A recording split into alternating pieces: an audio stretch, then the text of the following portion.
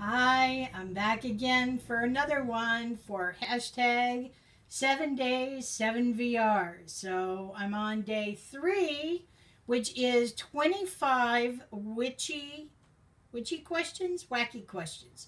25 wacky questions, and this is from our girl Lisa at Supportive Tarot. So here we go. One, what is something you hate but you wish you loved? Gosh. Something I hate. Probably physical activity. Sports. I mean, just any kind of, uh, you know, gym exercise. That's it. Exercise. I hate exercise, but I wish I didn't. Um, what is your favorite flavor of ice cream? Dark chocolate. Three. Which celebrity chef would you most like to make you dinner? Alton Brown, hands down. What's your favorite childhood book? Okay, this one might be controversial, but it was my very favorite book when I was a kid.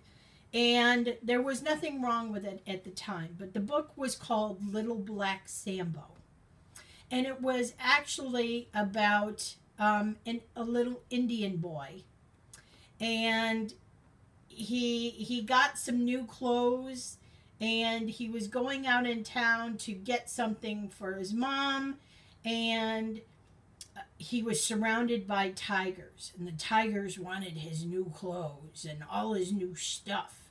And so, kid's scared to death. So he takes off his clothes and gives him all his stuff and the tigers get jealous between themselves. And they start chasing each other around in circles. And they turned into ghee. So the little boy scooped it up and he took it home to his mama. It's a sweet story, I thought.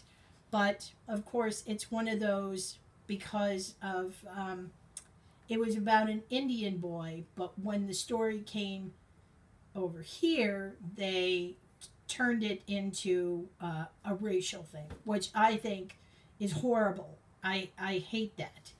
But it was one of my very favorite books that I would have my mom read to me every night. So I love that book. Um, are you a morning person or a night owl? Number five. I think I'm a morning person just because I work so damn early in the morning. I never used to be, but you know, when you get old, that happens, I guess. You want to go to bed early. I'm not up for partying all night anymore. Uh, six, if everything in your house had to be just one color, what color would you choose? Well, of course, purple. Purple, purple. What is your favorite day of the week? Friday. Can you whistle? Not well. But I could do it. Nine. If you had to choose one cartoon character to be your best friend, what character would you choose? Okay, everybody, are you going to say it with me? Ready? One, two, three. SpongeBob! Okay. 10. Do you believe in ghosts and would you ever go ghost hunting? Um, yes and hell yes. 11. Which of the seven dwarves is most like you?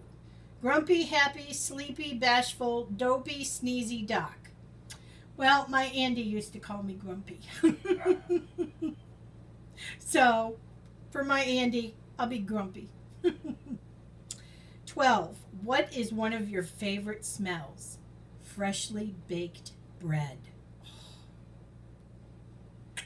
13. Would you rather be able to copy and paste in real life or undo? Oh, totally undo. Absolutely undo. I mean, it's great if you're doing really good to copy and paste, but most of the time, I would just like to be able to extract my foot out of my mouth. Um, so, yeah. What's the best type of cheese? Any cheese. Any cheese. I should have been born in Wisconsin. I love cheese that much. If you had a warning label, what would yours say? If I had a warning label, um, don't piss it off.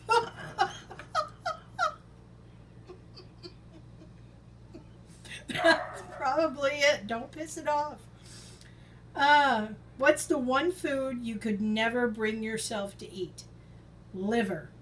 For years, my mom tried disguising liver in various ways, and she never could get it past me.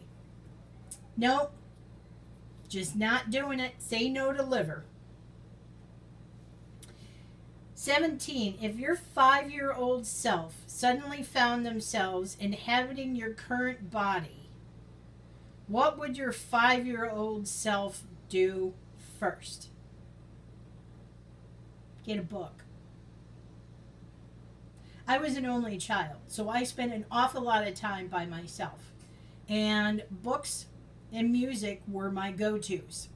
So I think my five year old self would go get a book because my my mom would read me stories every night before I went to bed. And sometimes we would she would read to me just, you know, in the evening time. So yeah, I would go get a book.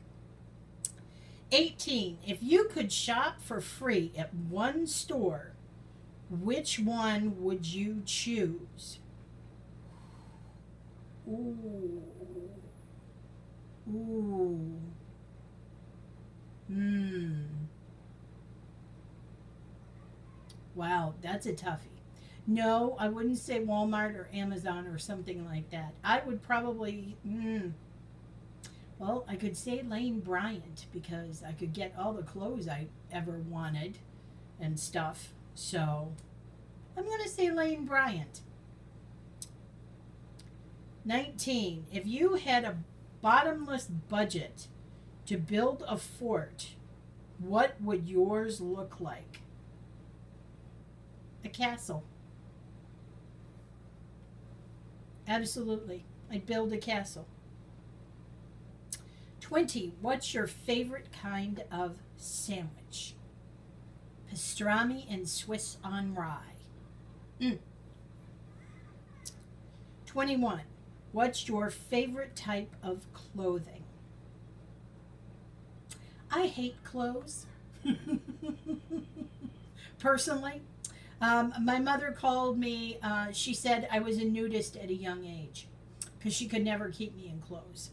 So, but uh, currently, because I also have a skin condition, I'm just full of it.